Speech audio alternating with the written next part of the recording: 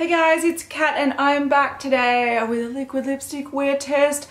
This one's a little bit different because I actually have a full range of liquid lipsticks that I was sent, ooh, it was in December I think, and um, I was actually really super impressed with the packaging. Uh, it's really cute, I'm going to show it to you, but uh, I just, yeah, I, it took me a little while, I think over the holiday period, you know, Christmas and New Year's and stuff, uh, to actually try these. And when I did, I was like, oh my God, these colors are so great. So instead of just picking one to do a wear test on, I will do that. Um, but I'll try them all on and swatch them and lip swatch them so you can see how the colors look on me. Now, for reference, my a lot of people ask, my MAC skin foundation base color would be NC20. So um, I like to consider myself quite neutral. I can wear I can get away with sort of pink toned foundations, but I much prefer slightly yellow toned foundations. Um, that's why sort of like um, bright kind of ready orange lipsticks tend to work well on me. Um, and I like golds more than silvers. So I am a little bit warmer than cool toned, um, but I'm sort of like neutral warm, if that makes sense. So why am I telling you this? Anyway, the reason I'm telling you what my um, foundation sort of colouring is like is because nudes look very different on different people. And um, swatches are helpful to an extent um, but unless you sort of know how different you are from the person that's doing the swatches you won't know how the nudes are going to sit on you. So that's why I mentioned that. Um, but the products are by Pixi and this is the cool ass box that I wanted to show you. So it's got a lock and a key. Holy bejesus, it's very cute. Um, so it's got a little key. Look, defeats the purpose of a lock if you've got the key hanging on it, but it's very cute. Um, so you open it up. Like, uh, uh, uh, uh, uh, there we done it. Yes, so a little rose gold lock. So it's like a big book. You open it up and voila, so yeah, it's got skincare under here, which I am going to admit I have not used. I wanted to keep them in here so you can see how cute this is. So this is the Rose Caviar Essence Rose Flash Balm. Um, they're both like hydrating products. I'm telling you guys a story. I feel like I'm a kindergarten teacher. So the thing that really piqued my interest were these. So this under here is the Matte Last Liquid Lip. So there are five shades. They're all some sort of form of nude. So you have Au Naturel, Matte Beige, Pastel Petal, uh, Really Rose, and Evening Rose. So sort of peachy nude, more like true nudes, more pinky sort of mauvey nudes. So that's what we're testing out. Check it out. So pretty, so pretty. So even though these were sent to me, I'm going to put them through the paces like I do with any liquid lipstick wear test. I'm going to apply one of the shades, wear it for about two hours without any drinking or eating. So I can check in, tell you how it wears without any food or water interference. Um, because some liquid lipsticks just by talking wears off and crumbles off. So um, I'll do that, then I'll check back in after I have had something to eat and drink to see how it wears through food and then I'll continue wearing it until it wears off. So I think what I'll do is I'll work from the lighter shade to swatch them um, and then go to the darkest one and then I'll wear the darkest one um, and let you know how that wears so you can see it properly on my lips how it's wearing off. Alright, so once again, these are the nudes. So they're all nudes, but they're all various colours of nudes. So you can see more orange, more true nude, more rosy sort of nudes. Those are the shades there. Um, that's the packaging. So it's got this kind of um, thick plastic packaging with gold writing, kind of mint green caps. All right, so I just checked. Uh, Jeffree Star is around five uh, grams of product. Kylie Jenner, I think, is about 2 point, 3.25 mils. Colourpop is around 3 point something grams. So uh, even though these look quite small, uh, they do pack a punch with how much product you get in it. So nearly 7 grams of product. So these are supposed to have full color payoff in a single stroke, so we'll test that. Uh, it's supposed to be hydrating, long wearing and quick drying, so we'll test that. These also are infused with rose hip seed oil, so I think they're supposed to supposed to help from them feeling drying on your lips, so we would test that, we would do it. All right, time to swatch, and this is Au Naturel, so this is the peachy one. Um, let's swatch it on my hand. The doe foot applicator also has that sort of triangle point, um, which is good for like lining your lips. It also has a little hole in the middle, so there's product that dips into it, so you probably don't need to reapply or re-dip to apply a full amount. All right, so swatch of the peachy color. So this is Au Naturel. So that is nice and pigmented, very nice and even. They do have a scent. It almost has a vanilla orangey scent. Almost like uh, orange poppy seed cake. I don't hate it. It's quite subtle, so it's not like a punch in the face. If you've tried something like um, Soap and Glory Sexy Mother Pucker, that is a real orange extreme scent. This is a lot softer. So you really have to give it a good whiff to smell it. So you can see that that has not yet dried down slowly. All right, let's apply to the lips. I love, I love these colors. You can see it is definitely opaque.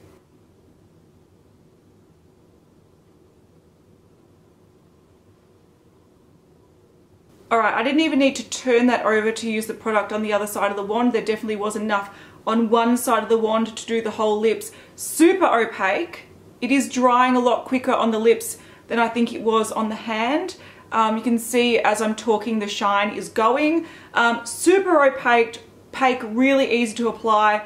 It feels kind of moussey but not drying moussey. Some moussey products have a, a little bit of a powdery sort of feel to it. This doesn't. Um, this is already dried down. That was within seconds. Uh, beautiful color. If you like a peachy nude, this is really bold, beautiful peachy nude, but nothing too um, unwearable. So it's not like a really dry sort of neon peach that makes your teeth look bad. This makes my teeth look fine.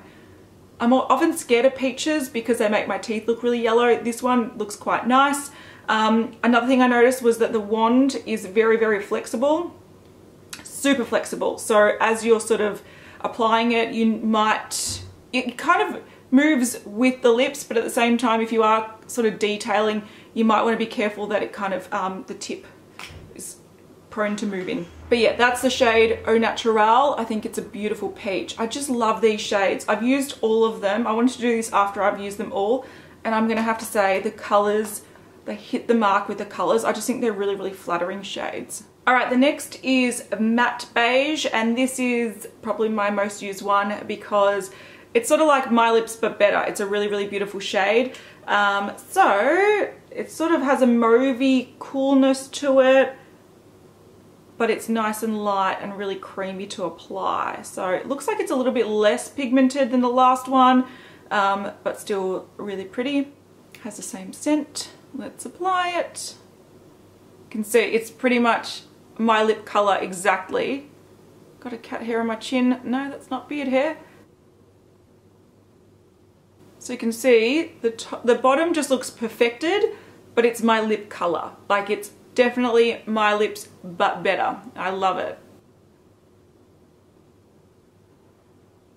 So that's it on the lips. I love this color. Um, I would love to do the wear test on this shade because it is my favorite and it kind of goes with the look that I'm doing as well. So like a smoky eye. Um, it's just the, my, my most perfect nude shade and I, I've been loving it. Um, but I can't really see how this wears off because when it starts wearing off it looks exactly like my lip color. So um, I won't use that one. But you can see this one's drying down a little bit slower.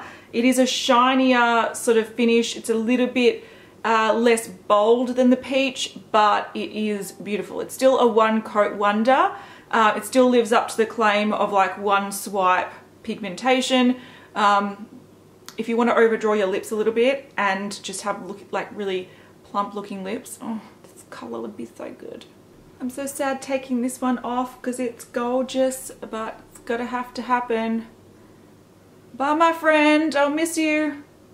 Alright, the next one we're swatching is Pastel Petal. So this looks very similar to the last one, but probably a little bit more very similar. So it's a little bit less mauve, a little bit more pink. Um, not too different. Probably don't need them both.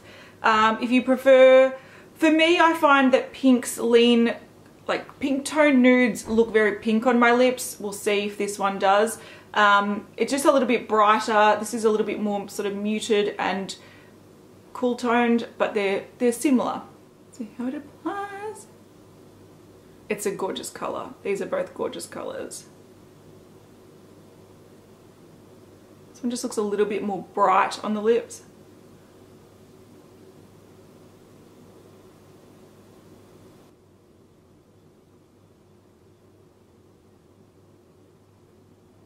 yeah, I love this too. This one's great. very similar to the last one. Uh, you can see it's just, a, once again, I said it's a little bit more pink, a little bit, yeah, this one's a little bit cooler, a little bit more nude, but they both apply really nicely. They both look really nicely, uh, look really nicely, look really nice. Um, and I love this color too. A little bit more pink. Um, on me, I think because of my coloring, it does pull quite pink, so that's why I prefer the other one, but they're both gorgeous. All right, two more to go. We're getting into more pinky, deeper ones. This one's really rose. Um, and it swatches something like this. So it's a lot deeper, a lot more pink. So yeah. Super nice to apply. All right, so that's it. If you like a more rosy, deeper nude um, with strong pink sort of undertones to it. It is a really pretty one. Um, yeah, not my favorite, but it is very pretty. Okay, so the last one that we're going to be testing out today in the wear test is this one here, which is Evening Rose. It's the deepest of the five and we'll swatch compared to the other ones. This one is the one we're using. You can see it's a lot more deeper and more sort of purple than that one, but they are, once again, quite similar. So um, I think what would have been better with this range is to have sort of deeper one in a more browny tone and then these to be a little bit different. But I think they're all very flattering on the lips. Um, and it's nice to see, look how beautiful that color is. I'm glad I'm testing that color out. It's beautiful. Um, what I might do is zoom in so you can see closely how it applies. Uh, for the time reference, it is currently 12.30. I started this very late, um, but let's do it. All right, up close and personal. All my like foundation is worn off around my mouth, but oh well. Uh, so there you go. Oh, gorgeous color.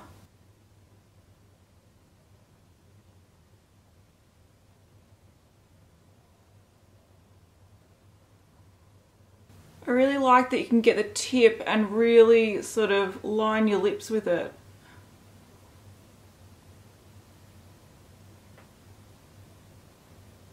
Alright, that's the colour there when I first applied it, so it hasn't dried down completely yet.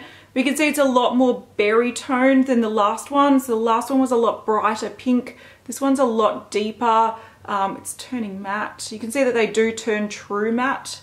Uh, let's see how they smudge. They're a little bit, you can see that they smudge a little bit. Oh, such a nice color and it's nice with this look as well. So I don't mind this sort of uh, budging that it does and you can see that they grip. So once you're like moving them, they kind of grip the skin and that means that they stay on really well. Um, and the slight transferring, it doesn't bother me too much because it generally means the liquid lipstick is more comfortable. I don't like the really dry flaky ones. You can see that this is not flaky at all. It looks really smooth and almost velvety and that is because that it does have a little bit of movement to it um, and a little bit of um, hydration to it. But I'm going to do a li liquid, not liquid lipstick kiss test. That's not a thing. I'm going to do the kiss test.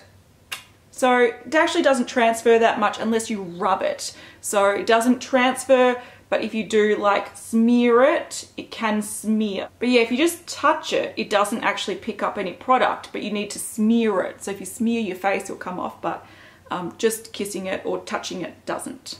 Um, but I do want to point out that if you want to buy these, uh, I'm not sure if they're available in Australia yet, but they're definitely in the US and you can buy them at Target in the US. Uh, you can buy them from the Pixi website as well, which ships internationally.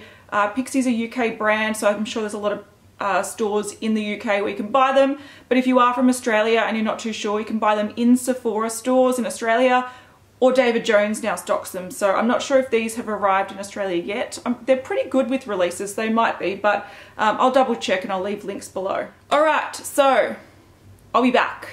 I'll let you know how it wears after a couple hours. All right, so it is two hours into the wear test. I've worn it for a good two hours. Uh, no eating or drinking. I did film a very chatty video after I just last you last saw me. So I was talking a lot and uh, it looks really good. So it looks like it sort of um, mel it melds into the lips a little bit better. So it doesn't look super dry. There was a point where I was like, oh, it's feeling a little bit dry, but it, then that sort of settled down and it no longer feels really dry. It just looks really nice. It looks like a nice matte lipstick. Um, there's no real kind of wearing away around here.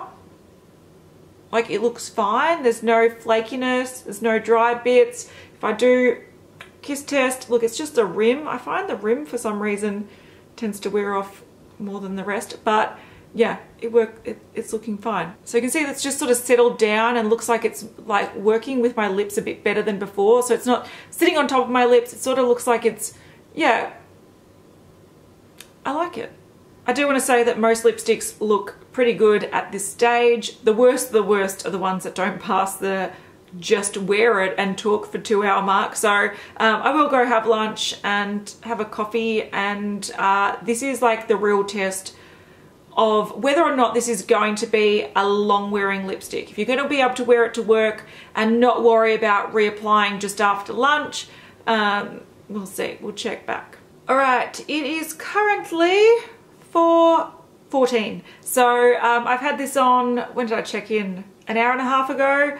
Um, was it an hour and a half ago? Yeah. Uh, so I've eaten food, I've had a coffee, I've done stuff, and it's wearing still quite well. So this is, yeah, I love it when liquid lipsticks wear this well. Okay, it is fading off slightly around the inner portion. Um, I might zoom in a second to show you, but it's very comfortable. Do I have food in my teeth? So it's sort of fading off naturally, but it's also feeling very natural and comfortable. It's not feeling dry. There's no like real chunkiness. There's no, well, there's no chunkiness or flaking off. Uh, there's no real patchiness. Um, the lighting's not the best. Wonder if I could just move this, hang on a sec. So if you look, so if I'm like direct with the sunlight, you can see that it still looks quite bold and quite nice. We'll zoom in. So that's it zoomed in. It's still quite bold on the lips fading off slightly like around here from where, where I've been eating um, but nothing major, it still looks really good. All right, so it's my last check-in, it is 9.05, so I've had this on, I don't remember if I started this at 11.30 or 12.30, whatever, it's either eight and a half hours or nine and a half hours, so it's a long time that I've been wearing this with no touch-ups, um, and it was looking pretty stable from my last check-in to the point that I had dinner. So this is two meals, um, coffee, tea, water, drinks, blah, blah, blah. So um, yeah, I've given it a big test and I think it's doing a good job. So wearing a nude lip for this long and having it last, like it's still, it's, it wore off quite naturally to a point, but then once I was eating, it sort of wore off on the inner part a lot. Um, and now it's just mainly um, on the outer, like the, the outer line of my lips. So um, the cat wants to get in this room. Is that Boogie? So yeah, for a nude, this lasted really well. And um, I think if you had one of the lighter shades, it would wear off looking less uneven. But I think the fact that it's lasted, let's say, roughly nine hours through multiple meals is very impressive. Um, I think this is better than most or all other nudes I've used. I had to look back at um, the liquid lipstick that holds the current top spot because I'm thinking this might rival it. Um, and I think that one still wins. That was Lady Balls by Too Faced, um, the Melted Matte. And that is a glorious red that lasted kind of quite boldly nine hours, you know, nine hours wear plus. So um, I don't think this is as great, but I think it is one of the best nudes I've tried. So I'm going to give this second spot. So my list is going to be here. My second spot of the liquid lipsticks that I've tested. Um, I do have a lot more liquid lipsticks in my collection, so um, I do want to test more. And there are some really good ones that I haven't tried yet. So sort of the top part of that list um, needs to be fleshed out a lot. Um, but they're the only ones that I've done wear tests on. If you do want to see any of those, Um, I'll have the playlist linked in the description box. Um, but what I like about these, I'll have to say overall, these lip products, um, I need to unlock it again. So what I do love about these lip products is that um, they definitely last a long time. They're definitely one like layer or one swipe pigmentation. Um, at no point did my lips feel like annoyingly dry. Um, they felt fine. My lips, like if I take this off, I'm, I'm not worried that my lips are gonna feel like um, dehydrated or, you know, dry and annoying. Um, they're fine, no problem. Um, but I think my favorite thing about this is actually the sort of these nude shades here. I think they're super flattering. I think they made a really gorgeous nude color range. I do think they could flesh it out with some more undertones because um, there's sort of like two dark pinks, two sort of mid-tone true nudes and a peach. I'd like to see more, but I think the colors are really, really flattering. Um, and definitely that, uh, was it matte beige? God, that's a gorgeous color. It's like one of my favorite colors of the moment. So I really like these liquid lipsticks and they definitely deserve, out of the ones I've tested, to be number two. So yeah, if you like that, definitely give it a thumbs up. Um, if you want to see other ones, I'll link some on the screen and um, I will be back for more very soon. So I'll see you guys in the next one.